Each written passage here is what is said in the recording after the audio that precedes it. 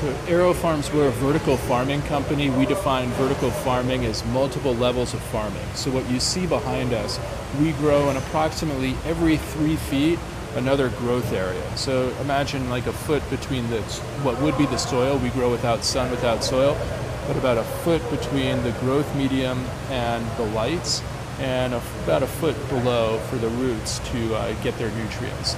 The name AeroFarms, part of it is from air, so we grow in air, vertically stacked up. We have systems that are as high as 12, going on 14 levels high.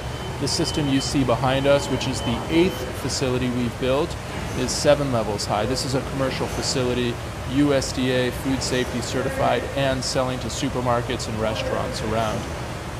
The other part of AeroFarms is aeroponics. So people have, more people have heard of hydroponics than aeroponics. Aeroponics is like the evolution of hydroponics. In hydroponics, the roots sit in water. Aeroponics, it, roots are misted nutrients. So nutrients are misted to the root structure. Roots want oxygen, so that provides a very healthy oxygenation of the roots.